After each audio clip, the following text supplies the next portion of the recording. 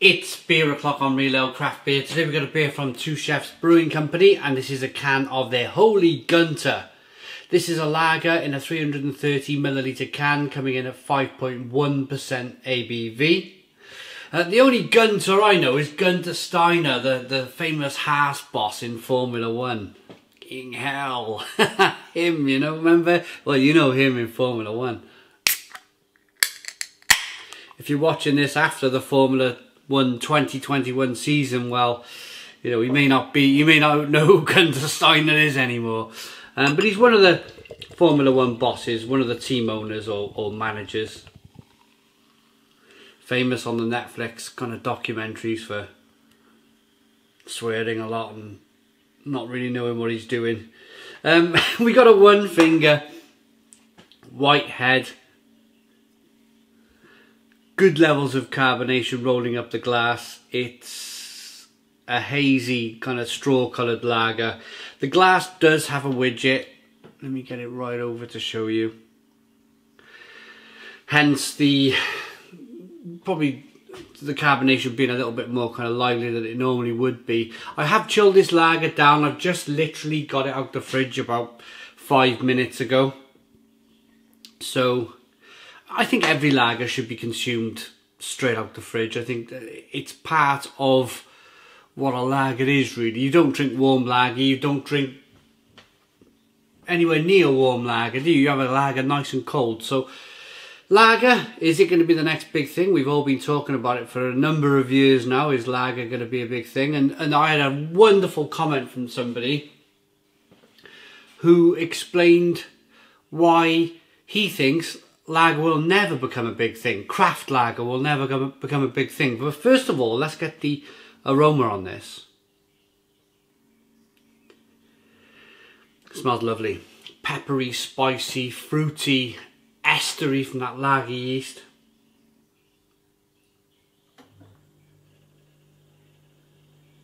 Lovely. It's like a little bit of kind of gooseberry or something. A real light fruity aroma to the beer.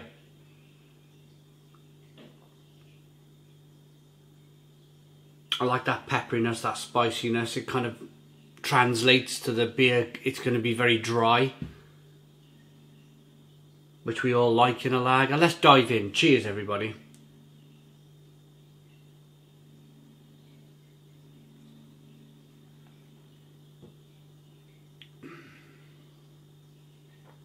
Oh, it's very good.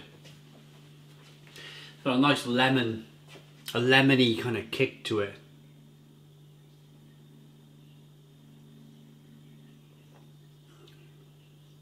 It's fantastically drinkable, very, very drinkable. Very refreshing, dry, spicy, peppery, lemony kind of lager.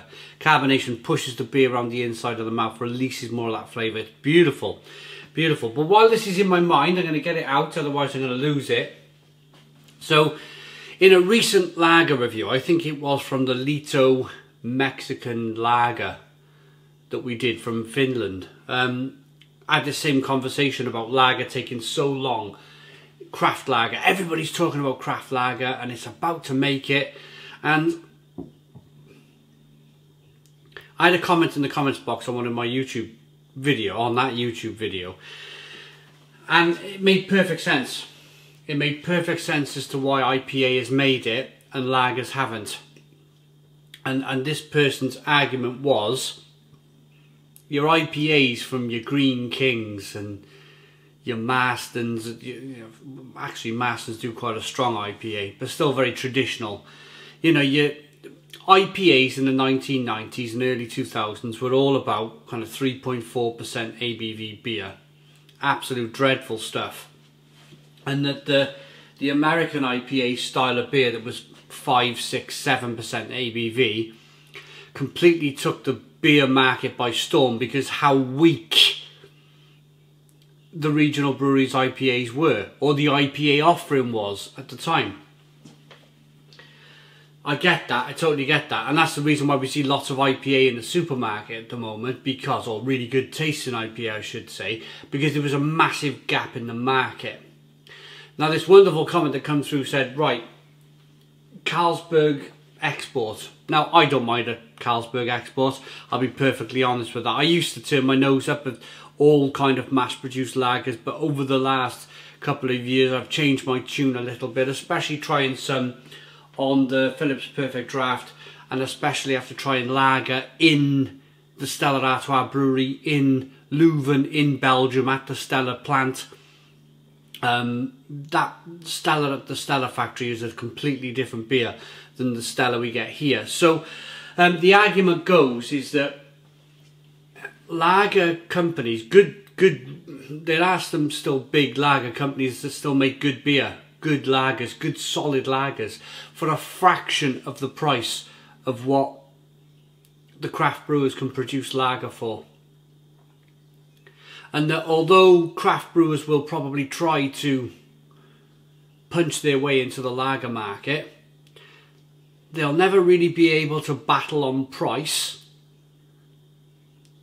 And there won't be so much of a difference that you know like like I was talking about earlier that 3.4% IPA dishwater there was a gap in the market for these five, six, seven percent IPAs to come rushing in and, and take the market by storm because it, it was so weak. There was no market there. There was no IPA market there.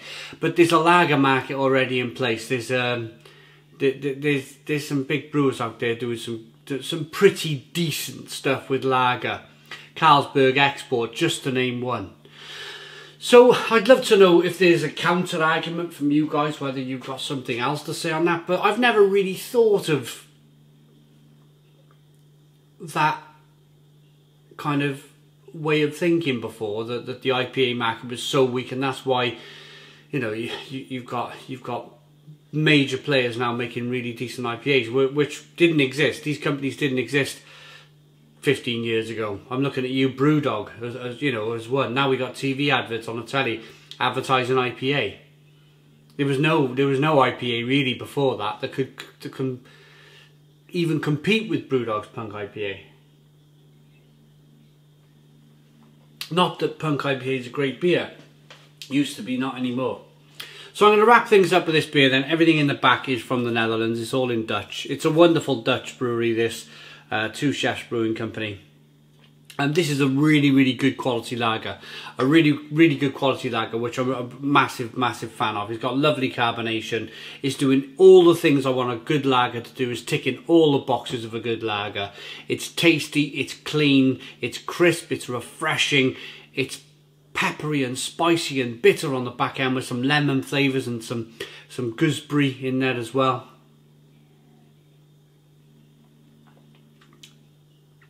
I could drink can after can after can of that. I really could.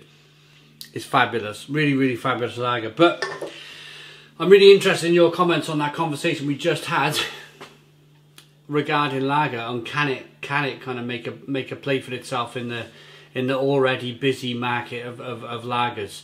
Um, I like this beer enough to give it an 8 out of 10. It's an 8 out of 10 from Real Ale Craft Beer. Please put your comments in the comments box, subscribe to our daily beer and food reviews, give us a big fat thumbs up. Boom. Cheers.